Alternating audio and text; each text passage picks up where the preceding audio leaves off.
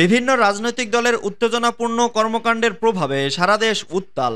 জানিয়ে দেব হাতে থাকা সর্বশেষ আপডেট, বাংলা সংবাদ। প্রথমেই সংবাদ শিরোনাম, ওবায়দুল কাদেরের বক্তব্যের প্রতিবাদ জামাতের।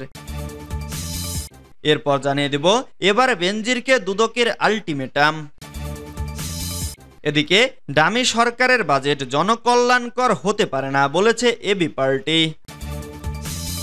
আরও জানিয়ে দিব, ব্যাংকের লকার থেকে সোনা গায়েব দুদকের হাতে হস্তান্তর। সর্বশেষ জানিয়ে দেব, বেনজির আজিজ আমাদের লোক না বলেছেন কাদের। এতক্ষণ শুনছিলেন সংবাদ শিরোনাম, এবারে বিস্তারিত।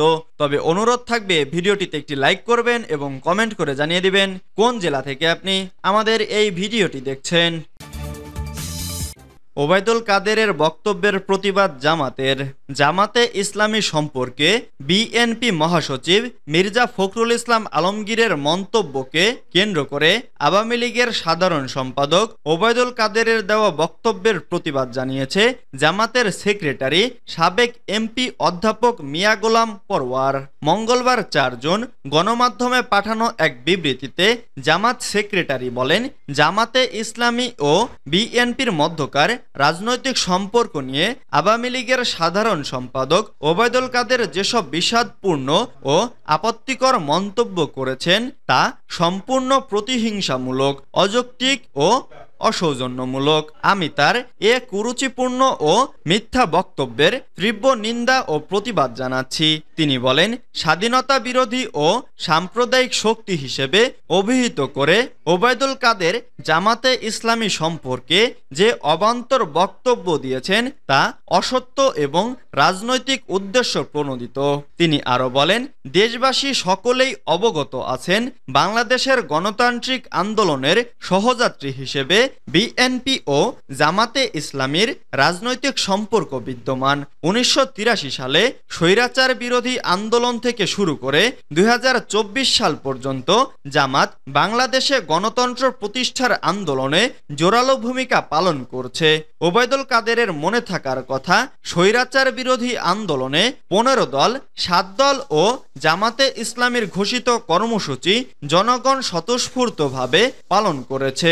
সে সময় একই ইস্যুতে আওয়ামী লীগ ও বিএনপি আন্দোলন করেছে।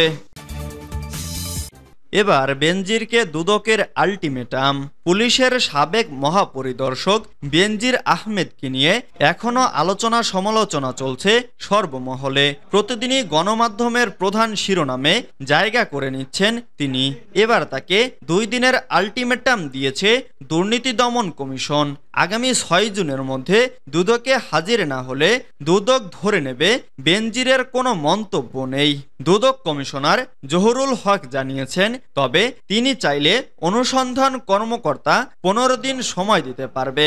দুদকের আইনজীবী অ্যাডভোকেট খুরশিদ আলম খান জানিয়েছেন, গত দুই জুন জানা যায়, গত ছয় মাসে পুলিশের সাবেক মহাপরিদর্শক বেনজির আহমেদ তার অ্যাকাউন্ট থেকে কত টাকা তুলেছেন, সেই টাকা কোথায় নিয়েছে সে বিষয়ে খোঁজ চলছে।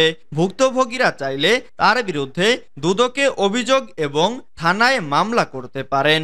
খুরশিদ আলম জানান, আগামী ছয় জুন তাকে দুদক কার্যালয়ে ডাকা হয়েছে। এর আগে কিছুই বলা যাচ্ছে না।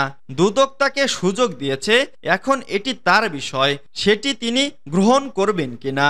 এর আগে গত ছাব্বিশে মে, বেনজিরের পরিবারের নামে বিভিন্ন সম্পত্তির দলিল, ঢাকায় ফ্ল্যাট ও কোম্পানির আংশিক শেয়ার সহ একশো উনিশটি স্থাবর ও অস্থাবর সম্পত্তি ক্রকের নির্দেশ দেন আদালত। ক্রকের নির্দেশ পাওয়ার সম্পত্তির মধ্যে রয়েছে একশো উনিশটি দলিল, যার মধ্যে ঢাকায় চারটি ফ্ল্যাট, এর মধ্যে দুই হাজার বিয়াল্লিশ স্কোয়ার ফিট দুইটি এবং দুই হাজার তিপ্পান্ন স্কোয়ার ফিট দুইটি। চারটি নিজ নামীয় কোম্পানি, চারটি বিও অ্যাকাউন্ট, পনেরোটি আংশিক মালিকানাধীন কোম্পানির শেয়ার। ডামি সরকারের বাজেট জনকল্যাণকর হতে পারে না বলেছে এবি পার্টি। বর্তমান সরকারকে রাজনৈতিক বৈধতাবিহীন আখ্যা দিয়ে আমার বাংলাদেশ পার্টি বলেছে, এই সরকারের বাজেট কখনোই জনকল্যাণকর হতে পারে না। মঙ্গলবার চার জুন বিকেলে প্রাক বাজেট সংবাদ সম্মেলনে দলটি এই মন্তব্য করে। সংবাদ সম্মেলনে এবি পার্টির নেতারা বলেন, যে সরকার নিজেই সংবিধান লঙ্ঘন করে, প্রশাসনকে অবৈধভাবে লাঠি লাঠিয়াল হিসেবে ব্যবহার করে ডামি নির্বাচন নামক প্রহসনের মাধ্যমে জোরপূর্বক গদি দখল করে রাখে, ক্ষমতায় যাওয়ার সিঁড়ি হিসেবে বিচার বিভাগকে দিয়ে তত্ত্বাবধায়ক সরকার ব্যবস্থা বিলুপ্ত করে দেয়। সেরকম রাজনৈতিক বৈধতাবিহীন সরকারের বাজেট কল্যাণকর হতে পারে না। রাজধানীর বিজয়নগরে এবি পার্টির কেন্দ্রীয় কার্যালয়ে দুই হাজার চব্বিশ পঁচিশ অর্থ বছরের আসন্ন বাজেটকে সামনে রেখে এই সংবাদ সম্মেলন হয়। এতে বক্তব্য উপস্থাপন করেন এবি পার্টির যুগ্ম সদস্য সচিব আসাদুজ্জামান ফুয়াদ। উপস্থিত ছিলেন এবি পার্টির সদস্য সচিব মজিবুর রহমান মঞ্জু, প্রচার সম্পাদক আনোয়ার সাদাত টুটুল, সিনিয়র সহকারী সদস্য সচিব আব্দুল বাসেদ মারজান ও সহকারী সদস্য সচিব শাহ আব্দুর রহমান। ব্যারিস্টার ফুয়াদ বলেন এবি পার্টি মনে করে ঋণ ও ঘাটতি ভিত্তিক বড় বাজেট অতীতে বাস্তবায়ন সম্ভব হয়নি, আগামীতেও সম্ভব হবে না। একটি অনির্বাচিত সরকারের উপর করদাতারা আস্থা রাখে না, যার ফলে নিয়ন্ত্রক সংস্থাসমূহ প্রয়োজনীয় কর আদায় করতে পারে না। যথেষ্ট রাজস্ব আদায় না হওয়ার কারণে এবছরের বাজেট হবে আরও বেশি ঋণ ও ঘাটতি নির্ভর। এবছর আগের বারো বিলিয়ন ডলারের আন্তর্জাতিক ও অভ্যন্তরীণ ঋণের সুদ পরিশোধ করতে হবে, যা মোট রাজস্ব আদায়ের প্রায় এক তৃতীয়াংশ। সরকারি কাজে ব্যয় কমানো হবে কিংবা আর্থিক খাতে সংস্কার নিয়ে এদের কোনো উদ্যোগ নেই। এদের আগ্রহ অনুৎপাদনশীল উন্নয়ন প্রকল্পে। ব্যাংকের লকার থেকে সোনা গায়েব দুদকের হাতে তদন্ত। চট্টগ্রামের চকবাজার ইসলামী ব্যাংকের লকার থেকে একশো উনপঞ্চাশ ভরি স্বর্ণালঙ্কার গায়েবের ঘটনার রহস্য উদ্ঘাটনের তদন্ত পেয়েছে দুর্নীতি দমন কমিশন। মঙ্গলবার চার জুন সকালে অফিসিয়াল দুদকে ওই ব্যাংকের গ্রাহক ভুক্তভোগী রোকে আক্তার বাড়ির অভিযোগটি পাঠায় চকবাজার থানা পুলিশ।